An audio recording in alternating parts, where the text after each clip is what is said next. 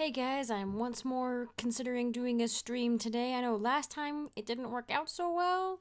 Um, I'm hoping this time will be better, but if nothing else, in a week, hopefully I'll have a better laptop after Black Friday sales.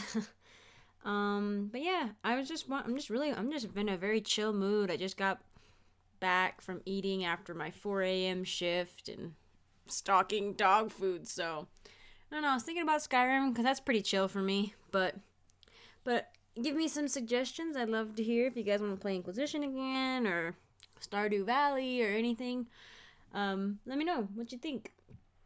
And um, I'll leave this video up for about an hour. So in about an hour, about 2.30 Mountain Standard Time, I will maybe stream if there are people who seem like they can come and, and want to hang out because because it's a chill day. so anyway, hopefully I'll see you guys and I'll see you later.